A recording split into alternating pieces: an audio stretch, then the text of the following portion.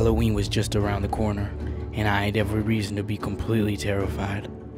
Last Halloween, James dressed up as Michael Myers and chased me and Mike through the streets. The memory still haunted me. Mom and Dad thought that if maybe we moved, it would help the bad memories to go away. So they bought Kevin's house, and we moved in there. But the bad memories didn't go away. In fact, they got even worse. I heard the only way to overcome your fears is to face them head on. So that's exactly what I did. I went in my backyard and I trained. No, James, this is not your candy. No, James, this is not your candy. Listen, I'm gonna have to use force. The force. Yea, though I walk through the valley of the shadow of death, I shall fear no evil, for thou art with me. Thy rod and thy staff, they comfort me. Surely goodness and mercy shall follow me all the days of my life. Because I carry a big lightsaber, and I'm one of the meanest dudes in the streets. And this Halloween, James ain't scaring nobody, and he sure as heck ain't taking my candy. Can I get an amen?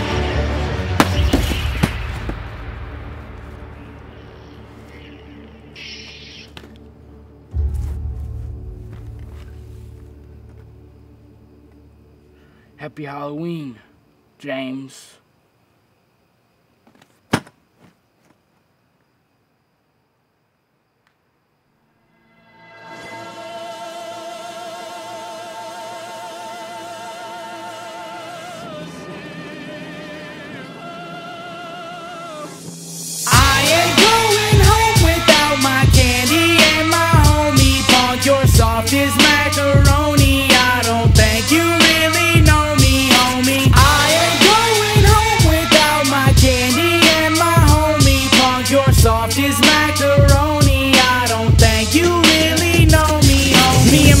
The street with the mean sweet tooth. We were dressed to a T in our Halloween suits. Dad said we had to be home before 8, but me and Mike decided we were staying out late. It was 9 p.m., Mom was calling me again. I said, Mike, don't she understand we're grown men? Then I ran into his chest and my brain felt pain. You already know his name, is that dumb jerk James. I stepped back and I waved my lightsaber, and James pointed over at my pack of lightsabers. I said, No, James, you ain't getting those. And if you try to take them, I'ma break your freaking nose. Quit playing, James, I ain't even scared. Mike said, That ain't James, bro. James is over there.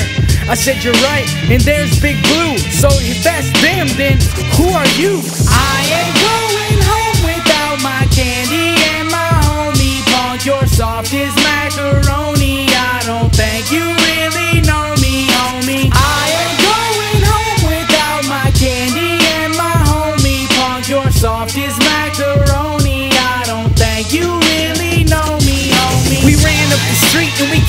a bus. We climbed up in and I pulled the door shut. We walked to the front and we peeked out of the window. Nothing but the black night, no side of the sicko. And suddenly I seen him, he was gonna spill our guts. I was praying for my life as he walked past the bus. But then my lightsaber fell over right next to me, crashed on the ground and it lit up like a Christmas tree.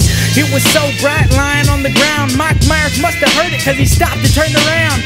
He walked over and he peeked through the door and see my lightsaber shining brightly on the floor. Then me and Mike heard the door swing open. We were filled up with so much fear, we were frozen. Then Mike Myers climbed up onto the bus. Me and Mike were both trapped. He was going to butcher us. I ain't going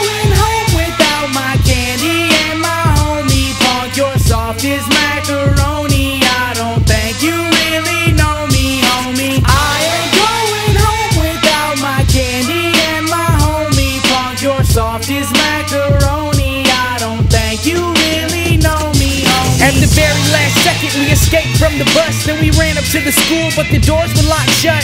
I told Mike, hurry, go and get some help. I'll be fine here on my own. I can fight this dude myself. Then my homeboy Mike ran out into the night. I told Mike Myers, dog, you ain't very bright. Don't you know that you're messing with your life? You don't bring no knife to a lightsaber fight. Then I knocked that big old knife right out his hand. Can't even lie, I was feeling like the man. Then he pulled a lightsaber right out of his coveralls, swung it against my arm, and he cut it clean off. I couldn't believe it, my arm was on the ground. I needed a hand, and nobody was around. My last thoughts is he choked me up against the doors. Only one way out, I gotta use the force. I ain't going home